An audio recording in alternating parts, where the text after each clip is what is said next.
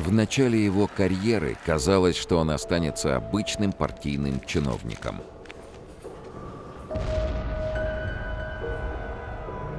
Но в годы войны ему пришлось взять на себя руководство авиационной промышленностью. Именно он курировал создание первых советских ракет. Благодаря его работе СССР стал мировым лидером в космической отрасли. Он начал масштабные реформы в стране и получил широкую народную поддержку. Его называли архитектором коммунистической партии, из которой впоследствии он был исключен и лишен всех постов. Георгий Маленков – что сегодня мы знаем о человеке, который принял власть над огромной страной сразу после смерти Сталина?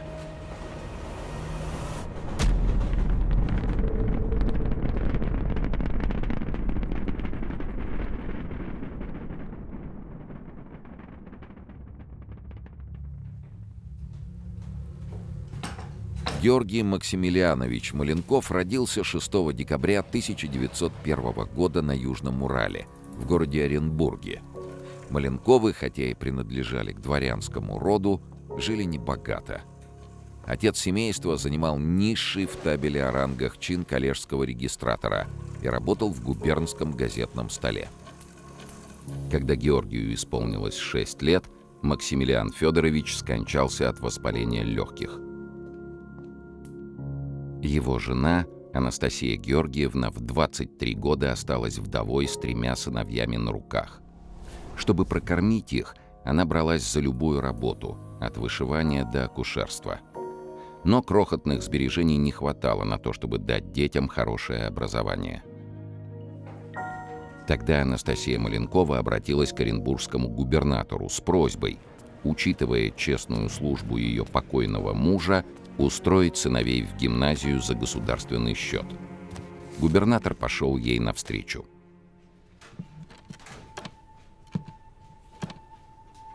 Георгий отличался усидчивостью, острым умом и хорошей памятью. Благодаря этому ему легко давались любые предметы, от математики до древнегреческого языка – его уважали не только преподаватели, но и гимназисты, которым он часто помогал справиться с самыми трудными заданиями.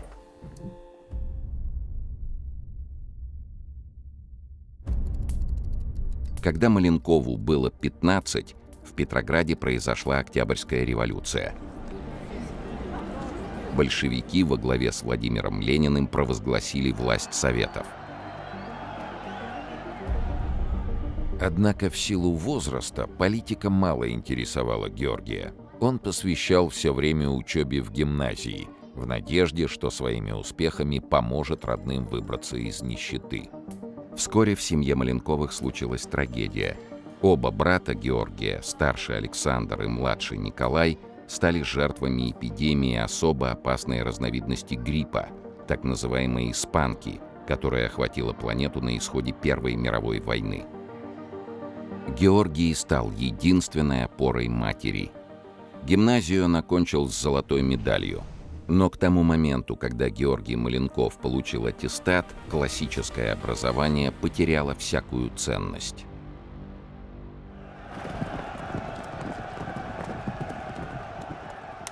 Идейный раскол российского общества и недовольство действиями большевиков, такими как насильственное изъятие продовольствия у крестьян – привели к братоубийственной гражданской войне. Она докатилась и до Южного Урала. В апреле 1919 года началась битва за Оренбург, которая продлилась пять месяцев и завершилась победой Красной Армии. В августе в городе была установлена советская власть. А спустя три месяца Георгию Маленкову исполнилось 18, и его призвали на службу в Красную Армию. Подобно большинству оренбургских призывников, Георгия направили на Туркестанский фронт, в Среднюю Азию.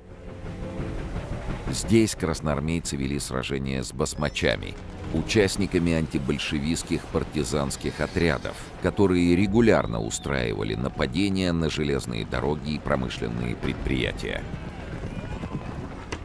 Маленков плохо ездил верхом, зато отличался грамотностью и пунктуальностью. Вскоре Георгию поручили ведение учета и делопроизводства в полку. В апреле 1920 года он вступил в партию. Это позволило ему, совсем еще молодому человеку, занять должность комиссара полка, а затем и бригады. Комиссарами в годы гражданской войны называли представителей правящей партии РКПБ в войсковых формированиях.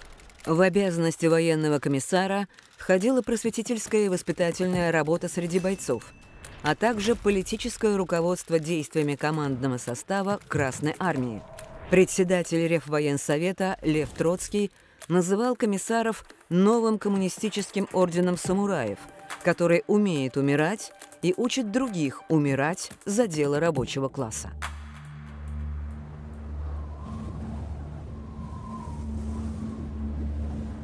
Тем временем басмачи терпели поражение от красноармейцев и несли большие потери. Уже к концу 1920 года по ним был нанесен серьезный удар, а в жизни Маленкова вскоре произошла встреча, которая навсегда изменит его жизнь.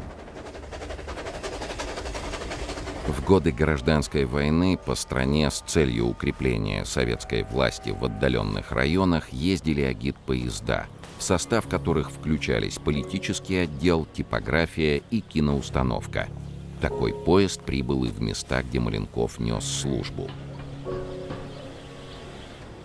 Библиотекарем в нем работала ровесница Георгия Валерия Голубцова.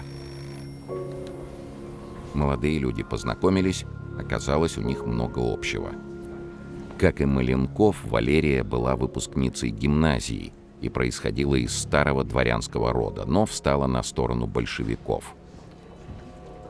В первые революционные годы официальная регистрация брака считалась необязательной, так что Георгий и Валерия просто объявили себя мужем и женой. Гражданская война уже подходила к концу, и супруги переехали в Москву,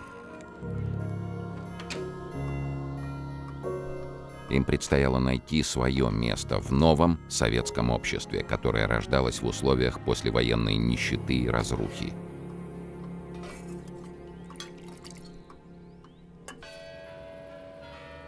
В начале 1920-х годов перед большевиками встала задача модернизации отсталой российской экономики.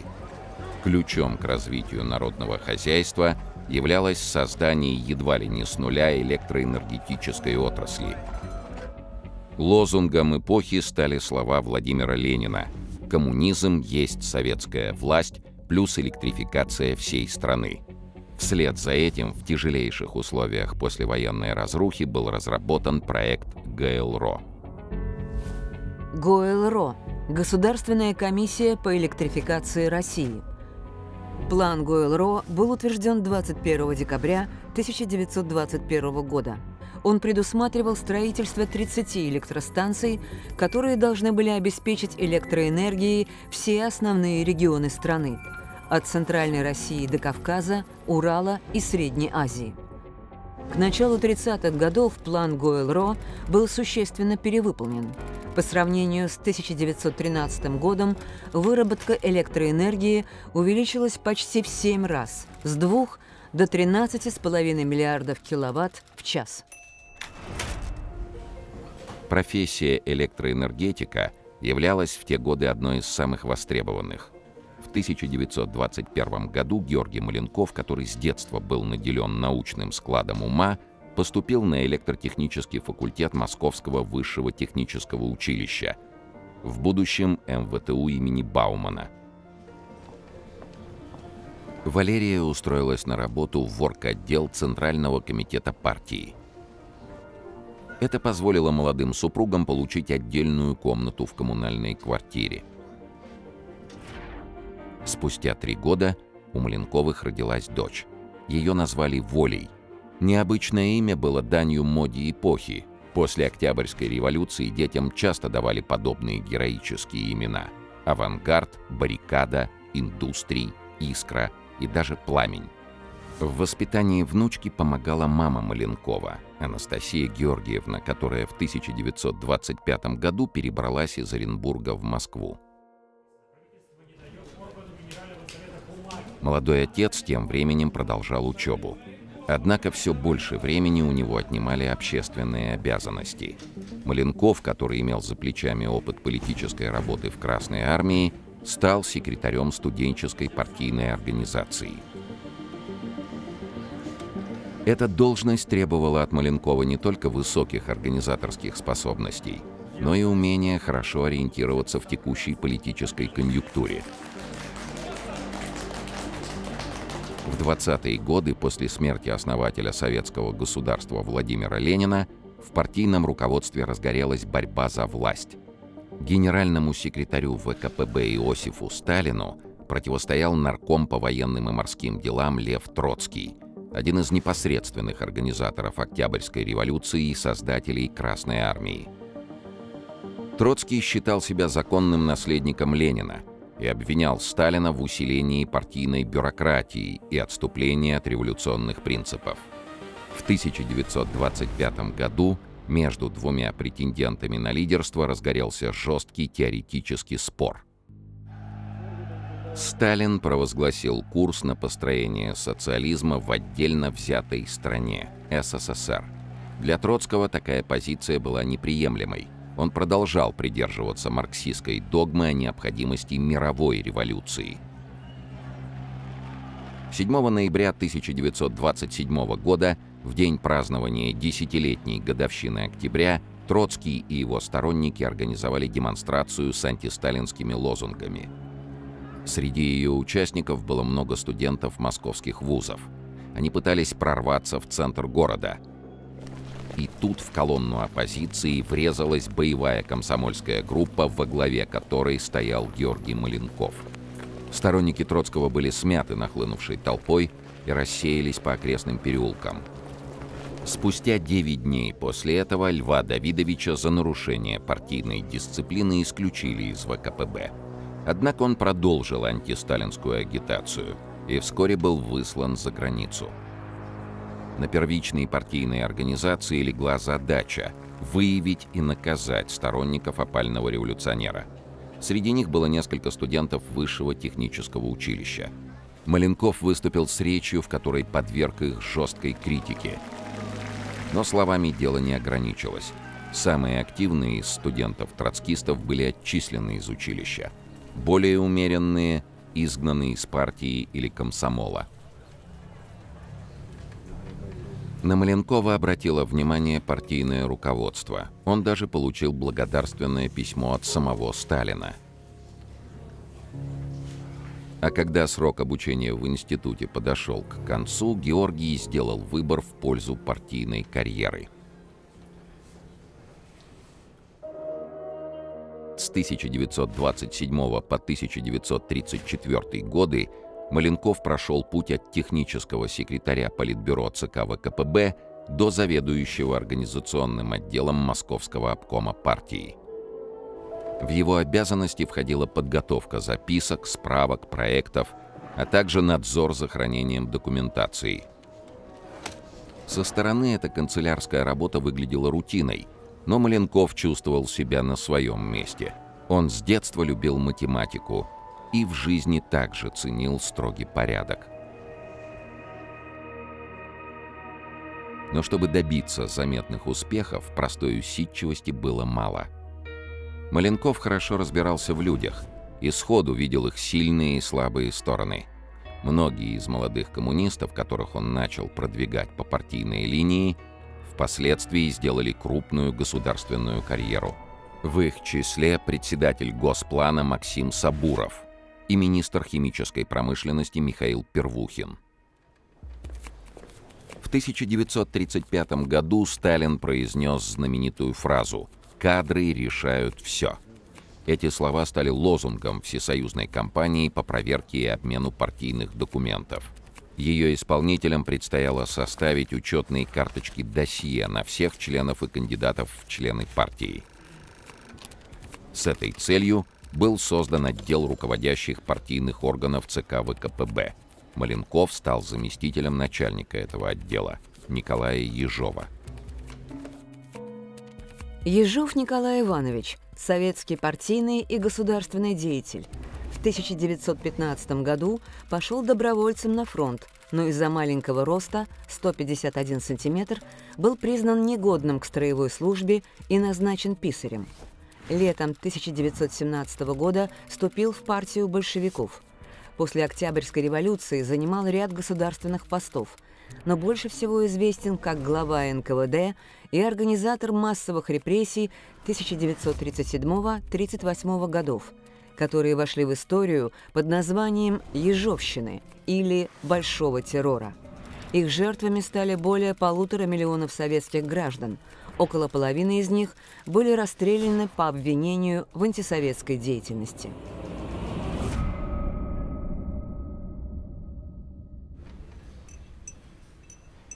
Больше года Маленков и Ежов проработали рука об руку, собирая данные о сотнях тысяч членов партии. В итоге они разработали гигантскую кадровую картотеку с описанием биографии, социального происхождения, профессиональных навыков и идейных взглядов каждого коммуниста. В период Большого террора эта картотека была использована руководством НКВД, которое провело глобальную чистку партийного аппарата. Тогда были арестованы тысячи высокопоставленных коммунистов – в частности те, кто в 20-е годы поддерживал Льва Троцкого. Но та же самая картотека очень пригодилась и во время войны, а также в послевоенные годы, позволяя быстро находить оптимального кандидата практически на любую позицию. В 1936 году, когда работа по составлению картотеки была в основном закончена, Ежова перевели на должность главы НКВД – Вместо него отдел руководящих партийных органов ЦК возглавил Маленков.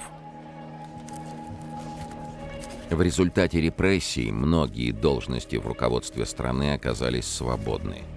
На Маленкова легла ответственность за подбор новых кандидатур. Тех, в чьей верности генеральной линии партии не было сомнений – в эти годы Георгий Максимилианович по долгу службы все чаще напрямую общался со Сталиным и вскоре стал пользоваться его особым доверием. Один из ближайших сталинских соратников, Анастас Микоян, вспоминал. «С Маленковым я никогда не дружил, хотя ценил его высокую трудоспособность. Видел его чрезвычайную осторожность при Сталине. Он был молчалив и без нужды не высказывался». Когда Сталин говорил что-то, он единственный немедленно доставал из кармана Френча записную книжку и быстро-быстро записывал указания товарища Сталина. В середине 1938 года Сталин дал Маленкову указание найти человека, который мог бы заменить Ежова на посту наркома внутренних дел. В числе семи кандидатов, которых Маленков подобрал по партийной картотеке, был первый секретарь грузинского центрального комитета партии Лаврентий Берия. Именно на нем Сталин остановил свой выбор. А Георгию Максимилиановичу он поручил прочитать серию закрытых докладов, направленных против так называемых «перегибов» в деятельности НКВД. В итоге были восстановлены в партии десятки тысяч коммунистов.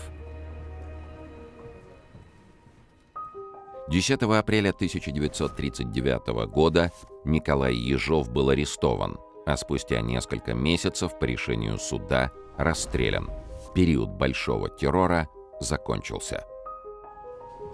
Вскоре Георгий Маленков возглавил управление кадров Центрального комитета и с этого времени лично отвечал за отбор кандидатов на высокие партийные и государственные посты. Оказавшись в самом эпицентре внутрипартийной борьбы, Маленков ни с кем не заводил тесных дружеских отношений. На протяжении всей жизни самыми близкими людьми для него оставались жена и мать. Анастасия Георгиевна больше десяти лет прожила в семье сына, помогая воспитывать внучку Волю, а затем вернулась к активной работе. Она возглавила кардиологический санаторий в подмосковном поселке Удельное – который вскоре стал известен как одна из лучших советских здравниц. В те же годы жена Маленкова Валерия Алексеевна Голубцова окончила Московский энергетический институт и поступила в аспирантуру. Однако очень скоро Валерии пришлось взять академический отпуск. В 1937-м у Маленковых родился мальчик, Андрей. Через год на свет появился второй сын, Георгий.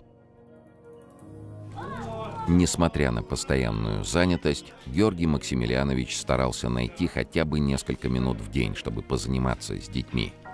На даче он обустроил для сыновей физический кабинет, в котором можно было проводить элементарные опыты и наблюдать в телескоп за звездами. Научил их любимой игре — шахматам. Читал им Гоголя, Чехова, Диккенса. Маленков страстно увлекался литературой и собрал за свою жизнь огромную библиотеку, более 10 тысяч томов. Все трое его детей стали докторами наук в разных областях. Старшая дочь Воля связала жизнь с архитектурой. Средний сын Андрей занялся биофизикой, младший Георгий – геохимией. Из воспоминаний Андрея Георгиевича Маленкова – Сколько не помню отца, даже в те минуты, когда он появлялся дома смертельно уставший, чем-то сильно расстроенный, в его общении с близкими не бывало ни повышенных тонов, ни грубых выражений. Семья была для него заповедным островком, где отдыхала его душа и где ему не требовалось скрывать свою разностороннюю яркую натуру.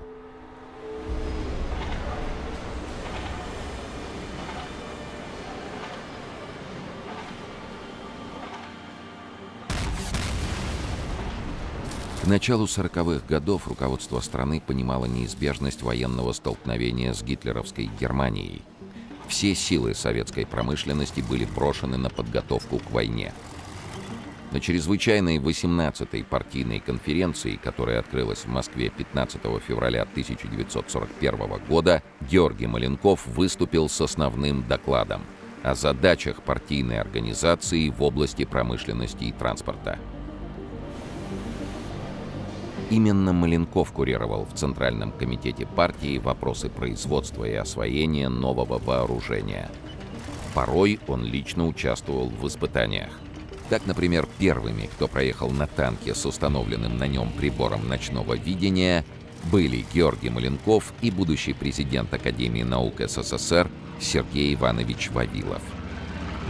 Одним из важнейших направлений стала широкая перестройка советского авиационного производства – Начиная с середины 1940 года в советских конструкторских бюро были созданы новые образцы военных самолетов, истребителей, бомбардировщиков и штурмовиков. Среди них такие знаменитые модели, как МиГ-1, МиГ-3, П-2, Ил-2. К июню 1941 года в СССР выпускалось более 50 самолетов в день.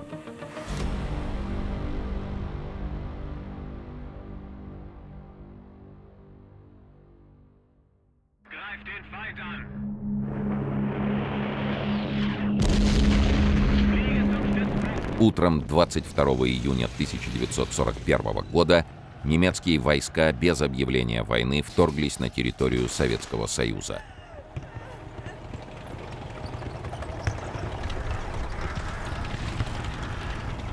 Началась самая жестокая и кровавая война в российской истории – Великая Отечественная – за один лишь первый день войны противник уничтожил 1200 советских самолетов. 800 из них находились на приграничных аэродромах и не успели подняться в небо, став удобной мишенью для налетов противника. Еще около 400 были сбиты в воздухе. Превосходство немецкой авиации вело к большим жертвам и грозило парализовать переброску войск и грузов в прифронтовой полосе. Требовалось как можно быстрее восполнить потери, а для этого организовать эвакуацию авиапредприятий из западных и центральных районов страны на восток и увеличить производство военных самолетов. В декабре 1941 года Георгий Маленков, как член Государственного комитета обороны, был назначен куратором советской авиационной промышленности – Государственный комитет обороны, ГКО СССР. Высший и чрезвычайный орган государственного управления, созданный на время Великой Отечественной войны. В годы войны комитет был наделен всей полнотой военной, политической и хозяйственной власти в стране. В первый состав ГКО вошли Иосиф Сталин, председатель, его заместитель Вячеслав Молотов, а также Климент Ворошилов, Лаврентий Берия и Георгий Маленков. Маленков работал едва ли не круглосуточно, оставляя на сон не более 4-5 часов. Каждое утро он начинал с чтения сводок с данными оборонного производства и требовал подробного отчета по каждой цифре. Именно тогда у Георгия Максимилиановича сложились тесные рабочие отношения с крупнейшими советскими военачальниками, такими как Георгий Жуков, Александр Василевский, Константин Рокоссовский. Осенью 1942 года довоенный объем самолетостроения был полностью восстановлен. Все чаще советской авиации удавалось выигрывать сражения за господство в воздухе. Впервые это случилось зимой 1941 года в ходе контрнаступления под Москвой. Затем через год во время Сталинградской битвы. А уже к концу 1943 года советские военно-воздушные силы получили многократный численный перевес над немецкой авиацией. Этот разрыв увеличивался с каждым месяцем. Одновременно росли опыт и мастерство советских летчиков. Имена выдающихся советских асов Ивана Кожедуба, Александра Покрышкина стали известны всему миру. В сентябре 1943 года за особые заслуги в области производства самолетов и моторов Георгий Маленков получил звание Героя социалистического труда. После побед под Сталинградом и Курском в ходе войны произошел коренной перелом. Красная армия перешла от обороны к наступлению. Линия фронта неуклонно перемещалась к западным границам Советского Союза.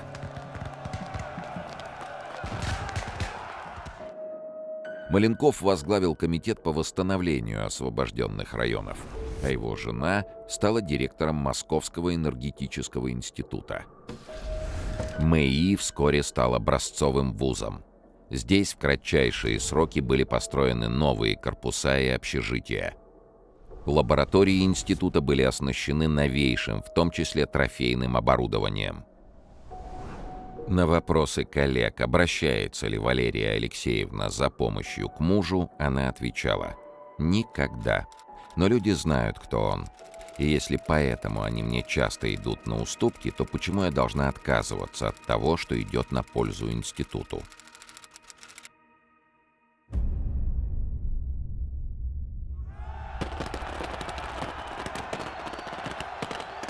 9 мая 1945 года нацистская Германия была повержена.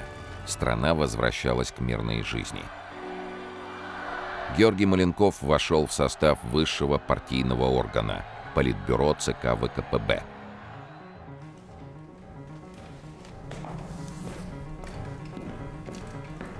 Но не прошло и двух месяцев после этого назначения, как в политической карьере Маленкова произошел первый серьезный кризис – Весной 1946 года началось следствие по так называемому авиационному делу. Авиационное дело – громкий политический процесс 1946 года, направленный против руководства авиационной промышленности и военно-воздушных сил Советского Союза. Основным мотивом обвинения стали систематические поставки на фронт бракованных самолетов, которые якобы происходили по прямому сговору между высокопоставленными руководителями. По делу были осуждены семь человек, в том числе нарком авиационной промышленности Алексей Шахурин и командующий советскими ВВС Александр Новиков. Маршал авиации Сергей Худяков был обвинен в измене Родине и расстрелян. 1953 году дела репрессированных были пересмотрены, приговоры отменены.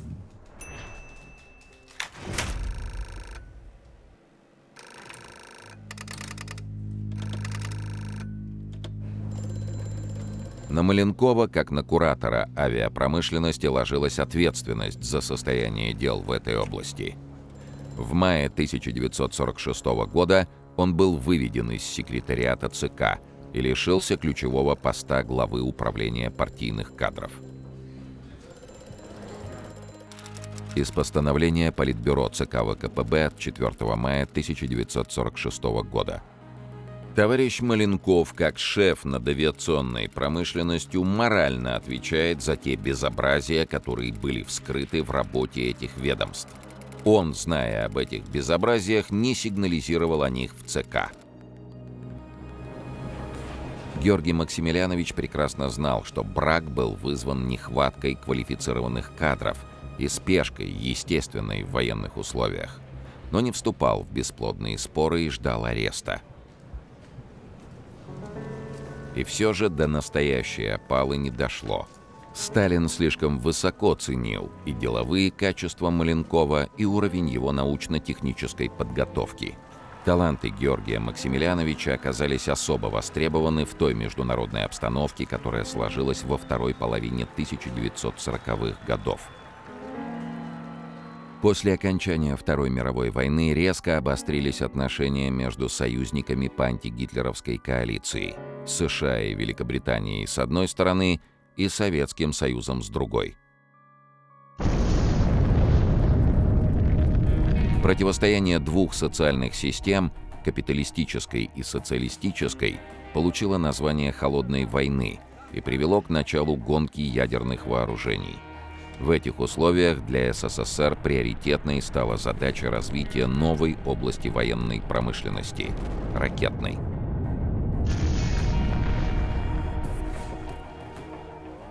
13 мая 1946 года, всего через 9 дней после исключения из секретариата ЦК, Маленков был назначен председателем специального комитета по реактивной технике. Перед комитетом стояла задача создать межконтинентальные баллистические ракеты, способные доставить ядерные боеголовки на расстояние в несколько тысяч километров. Разработку самого ядерного оружия параллельно курировал Лаврентий Берия. Маленков назначил руководителями конструкторских бюро Сергея Королева и Валентина Глушко. Эти выдающиеся инженеры с начала 30-х годов занимались разработкой ракетных летательных аппаратов. Однако в эпоху Большого террора были обвинены во вредительстве и арестованы – и хотя во время войны Королева и Глушко амнистировали, партийные чиновники не доверяли бывшим заключенным. Только личное вмешательство Маленкова оградило инженеров от постоянного контроля, который тормозил их работу. Итогом совместных усилий конструкторских бюро, которые возглавили Королев и Глушко, стало создание ракеты Р-7 с жидкостным ракетным двигателем РД-107. Первая советская межконтинентальная баллистическая ракета Р-7 была успешно испытана в 1957 году. Специально для этой цели в Казахстане был построен полигон номер 5, который стал основой современного космодрома Байконур. Дальность полета ракеты Р-7 составляла 8 тысяч километров. Это больше, чем расстояние по прямой от Москвы до Аляски. Впоследствии Сергей Королёв, Валентин Глушко и другие специалисты продолжили работу над модернизацией ракет этого типа. На ракетах-носителях семейства Р-7 были запущены на орбиту искусственные спутники Земли, а затем и первый в мире космический корабль с человеком на борту. В октябре 1952 года Маленков оказался в центре настоящей политической сенсации – в это время в Москве открылся 19-й съезд Коммунистической партии. По протоколу с отчетным докладом Центрального комитета выступать должен был сам Сталин. Под знаменем бессмертного Ленина, под мудрым руководством великого Сталина, вперед к победе коммунизма! Однако он предоставил это право Маленкову. Присутствовавшие на съезде делегаты расценили этот жест однозначно – Сталин определился с преемником. А американский политический еженедельник «Тайм» отреагировал на это событие выходом нового номера. На обложке была помещена карикатура «Маленков» в виде куклы, которая сидит на коленях у Иосифа Сталина. Тем временем сам Сталин испытывал все более серьезные проблемы со здоровьем. После войны он перенес два инсульта. Третий стал смертельным.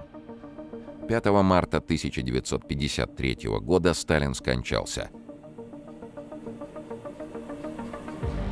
В тот же день состоялось заседание Президиума ЦК, на котором обязанности главы правительства, председателя Совета министров СССР были переданы Георгию Маленкову.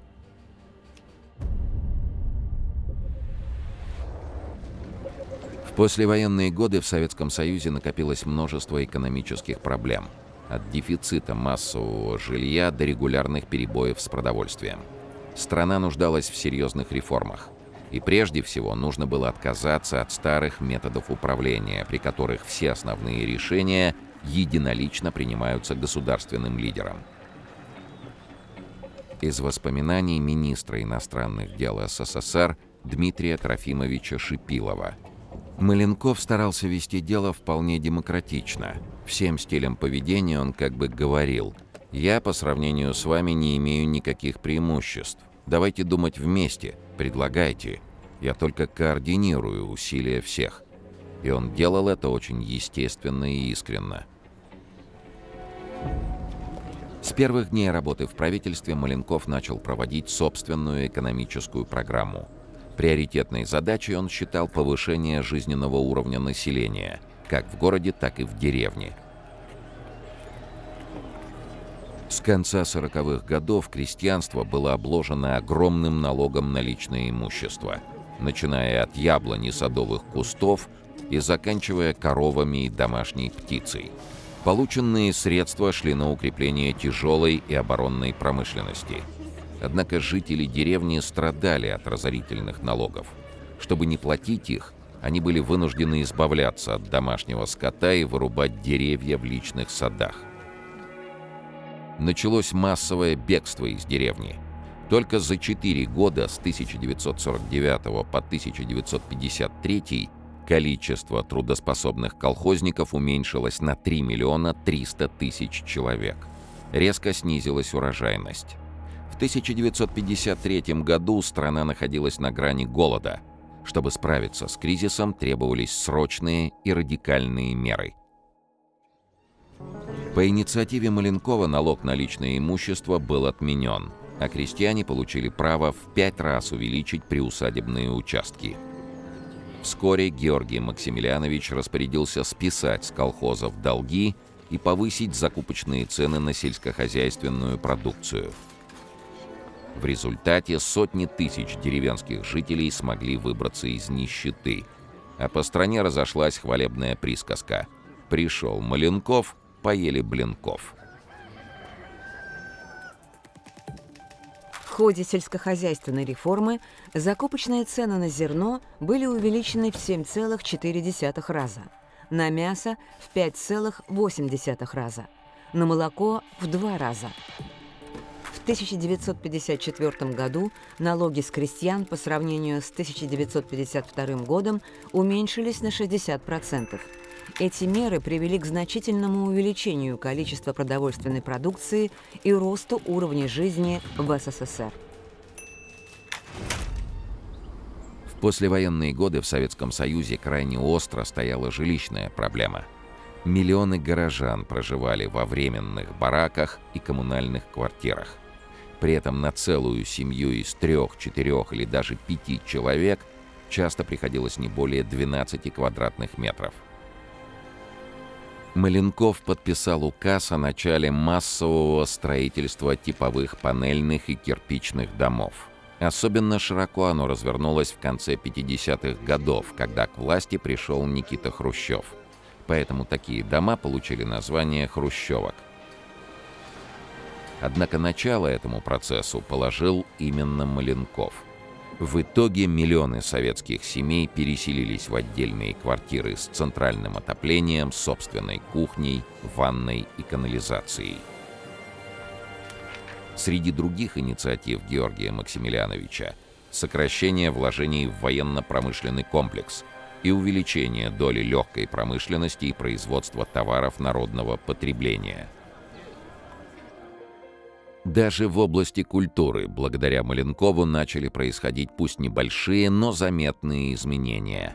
Так, например, в выставочные залы музеев вернулись картины импрессионистов Мане, Дега, Ренуара, которые до этого считались идейно чуждыми и были спрятаны в спецхраны. С самого начала работы в правительстве Маленков развернул борьбу с партийными привилегиями, такими как право на пользование закрытыми поликлиниками, столовыми, санаториями. Вскоре по его распоряжению были отменены нерегулируемые денежные доплаты, которые партийные чиновники получали в конвертах. Порой эти надбавки в несколько раз превышали официальный оклад. В среде советской номенклатуры росло недовольство. Первый секретарь ЦК Никита Хрущев воспользовался этими настроениями, чтобы укрепить свою власть. В январе 1955 года на пленуме Центрального комитета он выступил с резкой критикой в адрес Георгия Максимилиановича. Из резолюции пленума ЦК КПСС от 31 января 1955 года при рассмотрении многих острых вопросов товарищ Маленков проявляет нерешительность, не занимая определенной позиции. Эти недостатки деловых качеств у товарища Маленкова крайне отрицательно сказываются на работе Совета Министров.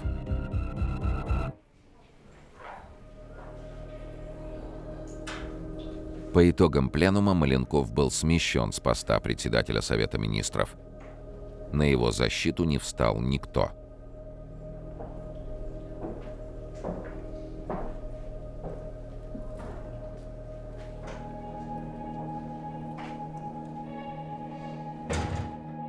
Тем не менее, Георгий Максимилианович остался членом высшего партийного органа, президиума ЦК КПСС, и сохранил место в правительстве.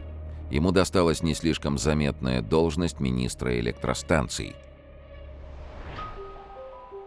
И все же Маленков сделал еще одну попытку вернуть себе политическое влияние.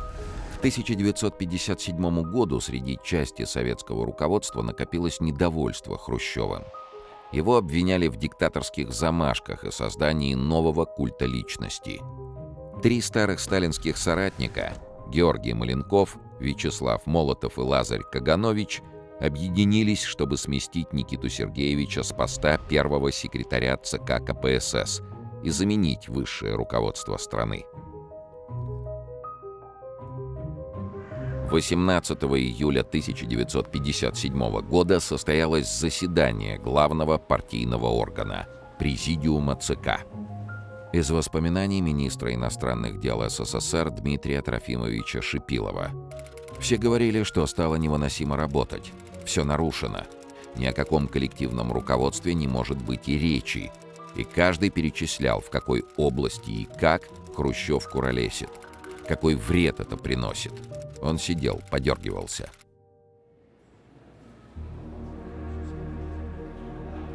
На голосование был поставлен вопрос об отставке Хрущева. «За» проголосовало семеро. Против только четверо, в том числе сам Никита Сергеевич. Хрущеву предложили занять должность министра сельского хозяйства. Но Никита Сергеевич был заранее готов к такому повороту – и заручился поддержкой силовых структур. Пока шло заседание президиума, в Москву на военных самолетах уже слетались члены Центрального комитета, которые были лояльны к Хрущеву. Они сняли с обсуждения вопрос об отставке первого секретаря и вместо этого начали дискуссию о методах партийного управления. В ее ходе Министр обороны маршал Жуков прямо назвал Маленкова, Молотова и Кагановича главными виновниками сталинских репрессий. Неожиданно за них вступился кандидат в члены президиума ЦК Дмитрий Шипилов, который считался выдвиженцем Хрущева.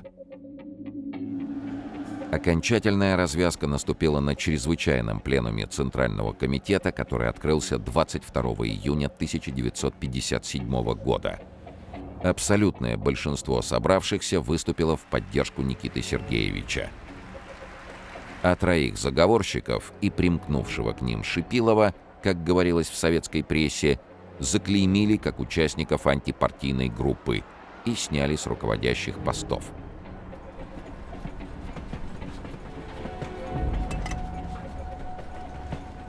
56-летний Маленков, человек еще весьма молодой по меркам большой политики, получил назначение на пост директора Усть-Каменогорской гидроэлектростанции, которая находилась в Восточном Казахстане. Вместе с Георгием Максимiliaновичем в политическую ссылку отправились его жена Валерия Алексеевна и дочь Воля.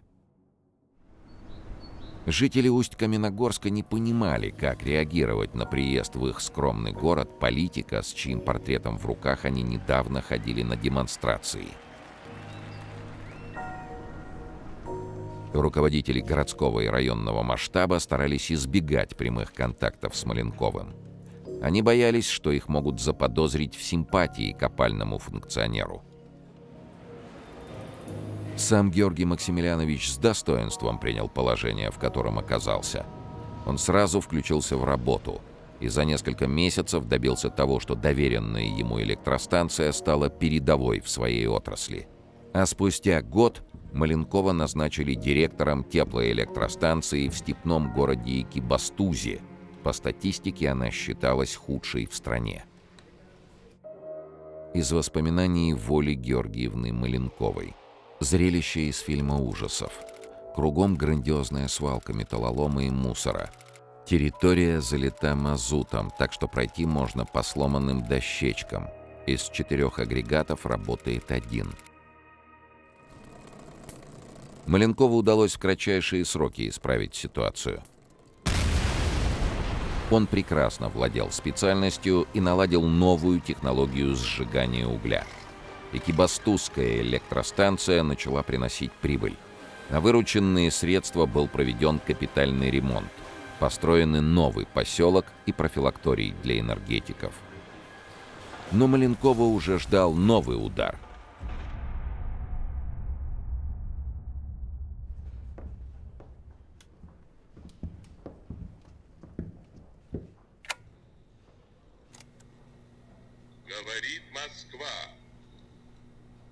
1961 году его исключили из партии. Формальным поводом стала потеря партийного билета. По иронии судьбы, именно Георгий Максимiliaнович на заре своей карьеры в ходе кампании по проверке и обмену партийных документов ввел такую суровую меру ответственности. Вскоре Маленкову исполнилось 60, и его отправили на пенсию.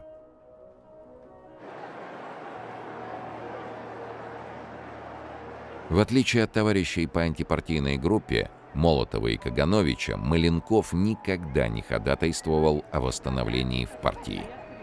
В отличие от Хрущева, он не написал ни одной строчки мемуаров и старался избегать любых разговоров на политические темы. Прожив 10 лет в Экибастузе, Георгий Максимiliaнович смог приехать в Москву только в 1968 году на похороны матери Анастасии Георгиевны. После этого он до конца своих дней оставался в столице.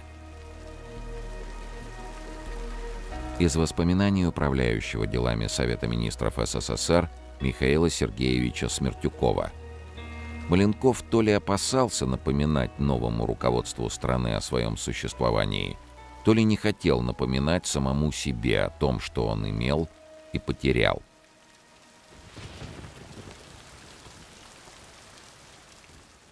В конце 1960-х Маленкову уже переставали узнавать случайные встречные на улице. Недавний глава советского правительства – скромно, в тихой безвестности прожил до самой перестройки и скончался в 1988 году.